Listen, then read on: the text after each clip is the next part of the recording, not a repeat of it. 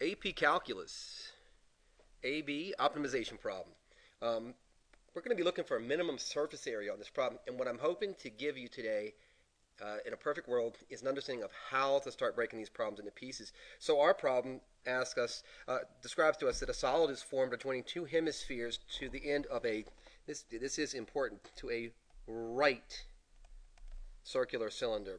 The total volume of the cylinder is 12 centimeters cubed, and it asks us to find the radius of the cylinder that produces the minimum surface area. So here's the thing that I want you to really kind of start to meditate about. When you have an optimization problem, they're going to give you two equations. So give, and given those two equations, what you have to figure out is which one is secondary and which one is primary. The one that's primary is the one that you're asked to optimize, and to optimize is to find the minimum or the maximum of something. So we can see right here, hopefully, that this, its surface area, is the primary, and that volume is the secondary. Why are we getting this? I'm not sure. That volume is the secondary, right? So volume is the secondary equation. From that, we have to start gathering some stuff that we know. And, and some of it, frankly, is a pain in the neck because we have to go back and remember what the equations are. So let's look at this for a second. We know that the volume of our, well, I guess here's a picture of what I think this thing looks like. It's like a capsule, I think. It's like this. So kind of like this, I think. So we have this right circular cylinder like this. And a lot of people say that this is the best way to start a problem. I haven't always done this, but I'm going to take good advice when I find it, so I think this is probably good advice. And then there's this hemisphere that's broken in half, and it's, I'm sorry, this is hemisphere.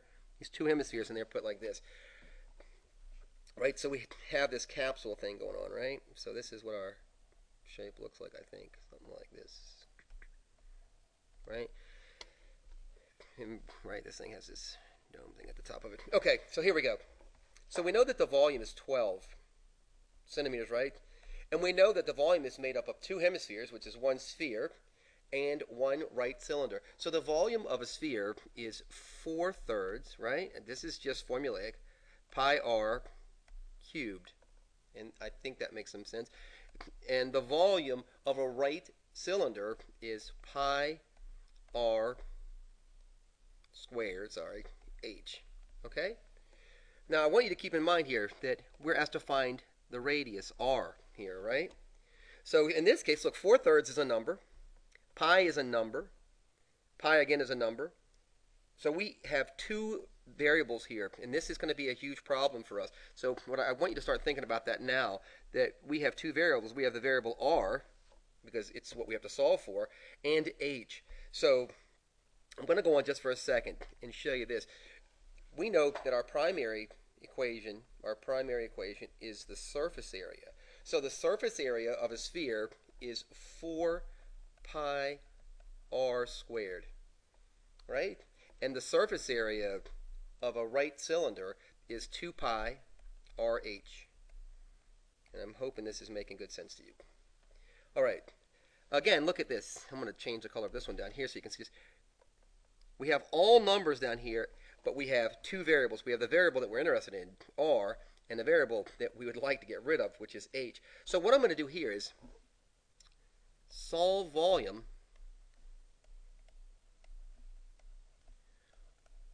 for height. And if you think about that, here's this thing I'm going to isolate, right? So all I'm going to do is this. I'm just going to move everything over. I'm going to get 12 minus 4 thirds pi r cubed is equal to, right?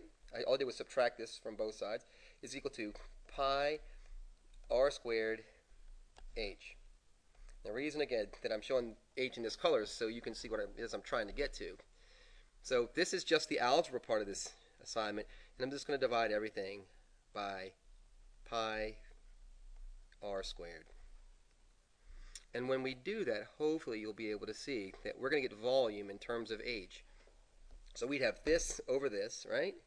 We'd have this over this, and hopefully you'll see that this pi and this one cancel. r cubed over r squared is r. So what we'd get here is that h is equal to 12, hope I'm doing this right, 12 pi r squared minus 4 thirds r. And hopefully you can see here that now we have h in terms of r, and when we substitute it back into this, things are going to get a lot easier. So let me take a look at my math and make sure that it is the way I thought it should be. And golly, for once I'm right. We're going to have a small celebration later. And then I'm going to do is sub this thing in. So I'm going to substitute this value in here.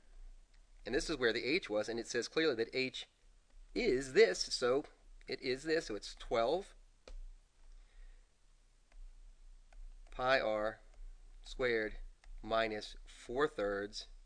And I'm going to put this pi value at the top so you can, I mean this r value at the top so you can see what I'm doing better. Right, this one was in the denominator, this one is by itself over here, but it's up in the numerator, isn't it? All right, hold on one second.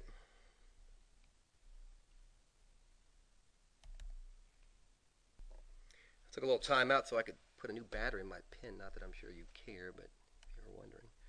All right, now I'm just going to be careful. I'm going to distribute this value in carefully here, right? So this times this, and then of course this times this. So look what we're going to get here. So we have surface area is equal to 4. I'm just making, the reason I'm rewriting this piece here, so I don't want to lose it, plus, and then I'm going to multiply this piece in. So 2 pi r times 12 is 24 pi r over pi r squared, right? Minus 2 times 4 is 8 pi r times r is r squared, right? All over 3. Now take a second to figure out how you're going to simplify this because if you look, this piece and this piece can be put together. I'm going to go ahead and stop the video here, and I hopefully I'll be smart enough to to make a link so you can just click on it. Hang in there with me. I hope to see you on the in the next video.